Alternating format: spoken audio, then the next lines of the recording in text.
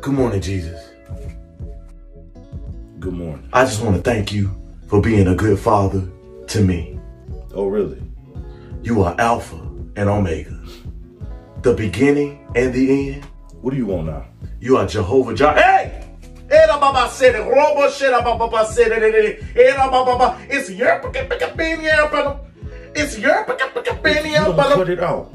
Why you acting like that? Because the only time you talk to me is unless you want something. So what is it? All I'm asking is is is for a wife. That's all I'm asking for. You're not asking for a wife. You done. You asked for a wife before, but you ain't do all this. You clearly want something. So what is it? I need I need a kid. You want a kid? Like two, Two, three, three kids. Wait, no, four, four, four. four. Four kids. I need four. Well, I got a question. How are you asking for four kids when you can't even read four Bible verses? trying to claim some kids on my taxes, man. I'm I'm broke. No. I need money. Well, go to work. I'm tired of working. Well, that's too bad.